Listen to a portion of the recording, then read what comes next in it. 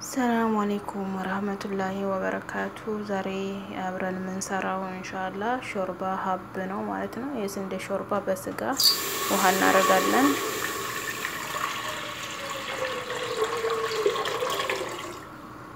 እዚህ ጋር ስጋችን አለ እናደርገዋለን ማለት ነው። ትንሽ አንድ አስር ደቂቃ ከቆየ በኋላ ደግሞ ስንዴውን እናደርጋለን ማለት ነው። ሾርባ ሀብ እንዴት እንደሚሰራ አብረን እናያለን። ያኔ የስንዴ ሾርባ በስጋ ማለት ነው። አሁን ቆሻሻውን እናነሳ ነው ከላይ እንደዚህ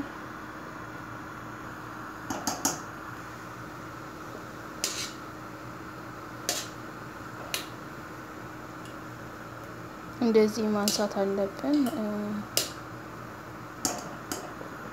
ዶቼ አሁን አንስተን ሁሉንም ስንዴውን ላደርግ ነው። አጥቤዋን ነጠቃ እዚህ ጋር ነጭ ሽንኩርት እና ማጂ አለኝ አደርገዋለሁ። እዚህ ጋር የተፈጨ ጢማጤም አደርጋለሁ። እዚህ ጋር አንድ መላጋ ሳልሳ አደርጋለሁ።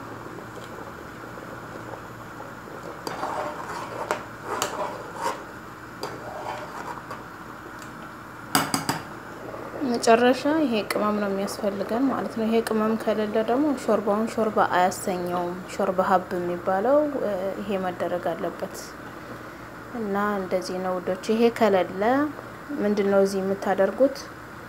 ክዝበራና ከሙን አለ ፍሬው ያልተፈጨ ማለት ነው።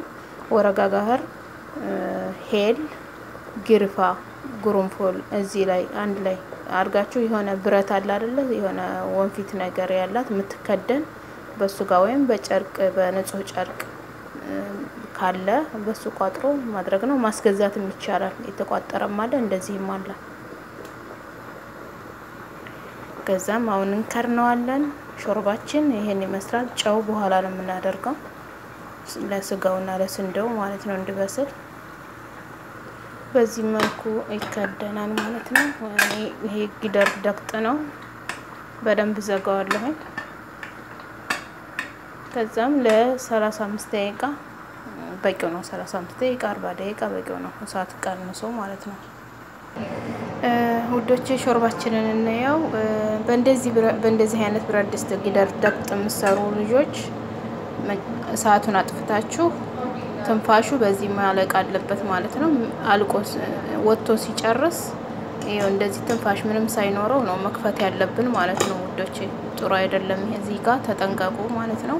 አሁን እናያለን ሾርባችን እንሻላ ውዶቼ። ሾርባችን ይሄን ይመስላል። እስኪ እንየው ማለት ነው። ይኸው ቅመሙም እንዳለ ነው። ያው ይሄን ይመስላል ማለት ነው። ሾርባ ሀብ ስጋውም ይሄው እና እንደዚህ ነው ውዶቼ። ይሄን ይመስላል። ስሩት። በጣም ቀላል ነው ውዶቼ እና ብላፊያ በጣም ቀላል ነው። ሾርባ ሀብ ብላሃም ይሄን ይመስላል እላችኋለሁ። በጣም አሪፍ ነው። ይጣፍጣል፣ ይጥማል። ይሄን የማይወዱ ልጆች ይኖራሉ፣ ግን በጣም ይጥማል ማለት ነው።